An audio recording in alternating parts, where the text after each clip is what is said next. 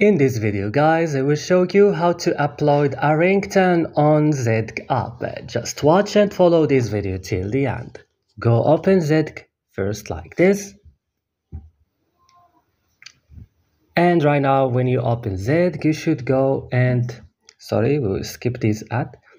We click here on our profile. Next we click on uploads and click on upload here it's going to take me to the my browser of my device. So what we're gonna do right now this is my profile. I will just come here and click upload more right now I will click drag and drop or browse. So there is three options. Click on media picker.